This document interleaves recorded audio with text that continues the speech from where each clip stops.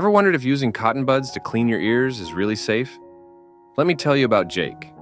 He had always used cotton buds, just like his parents taught him. He loved that squeaky clean feeling after every shower, thinking he was taking good care of his ears. But over time, he noticed his hearing wasn't as sharp.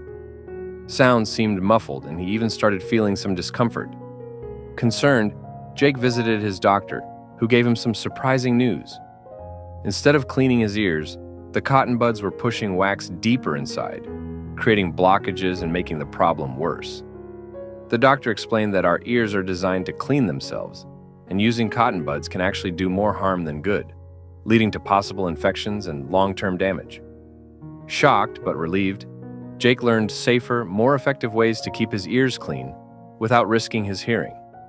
Now, Jake's ears feel better than ever, and he's glad he made the switch.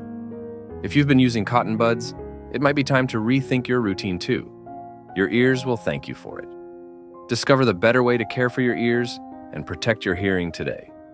Now you can see the big piece of earwax that came out of Jake's ear. If you know someone who uses cotton buds as much as Jake did, send them this video.